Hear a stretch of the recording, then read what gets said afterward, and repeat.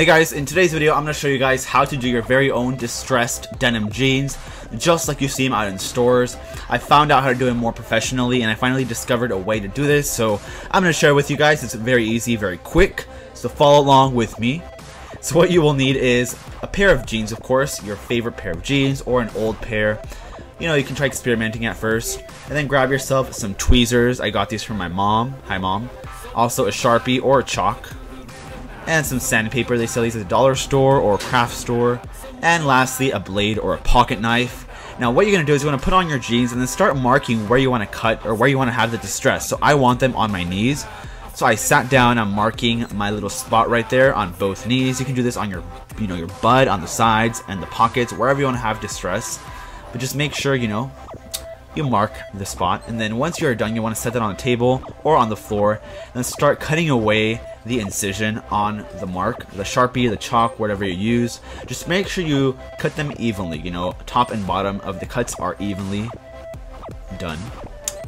And then once you're done with that, grab your sandpaper and start just going with it. So just start kind of scraping on the fabric. Now what this is going to do is it's going to actually make some of the blue thread, you know, come to surface and it's going to make it easier for you to take it out, which you will see in just a bit. So as you can see, what you want to do is basically want to grab your tweezers. So grab your tweezers, and then you see how there are white and blue threads, the jeans. So these are kind of crisscrossed, if that makes sense.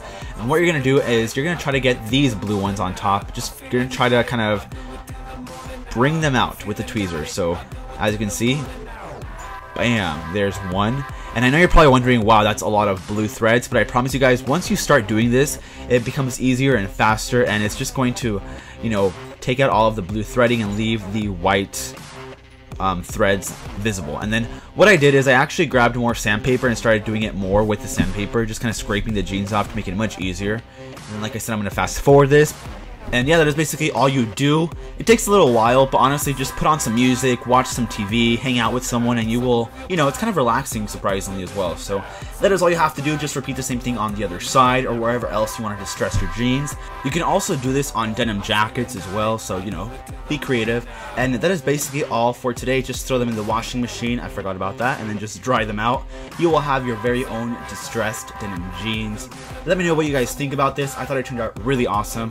If you guys recreate this look at home, feel free to send me photos of your jeans or your jacket, whatever you distress, at my Twitter or Instagram at JairWoo. Feel free to hashtag JairWooDIY. I would love to check it out. I will retweet your retweet, retweet your pictures, everything. Facebook page as well. Send them over to me. I would love to see it. Hit like, subscribe, share this with your friends. And with that being said, I will catch you all until next time. Adios feeling naughty I do it till the morning now.